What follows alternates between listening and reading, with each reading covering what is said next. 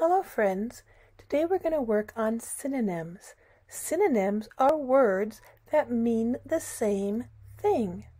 So let's look at some examples. Bread, loaf. Those mean the same thing. Cash, money, dollar. Those all mean the same thing, so they are synonyms. Cup and mug mean the same thing, but cup and glass also mean the same thing. Those are synonyms. Here we have dog, canine, mutt or mixed, or man's best friend. Have you all heard of those things to refer to a dog? What about this? Cat, feline, kitty. Those all mean cat. So those are also synonyms. Here we have synonyms that are vehicles. And we have vehicle. So vehicle could be used for any of these words. It could be used for a lot of words.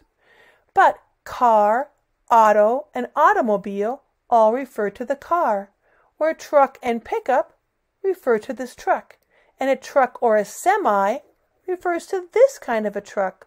But they're all vehicles. So we have these synonyms, this is synonyms, and these are synonyms. And this could mean any of those words. How about home and house?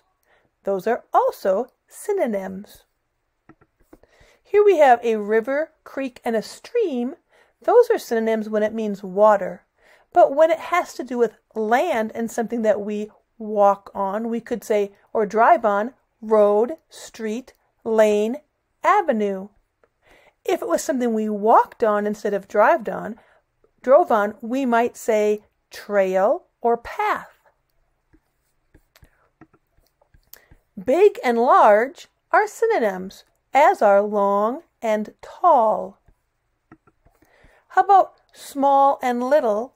Short and small would also be synonyms.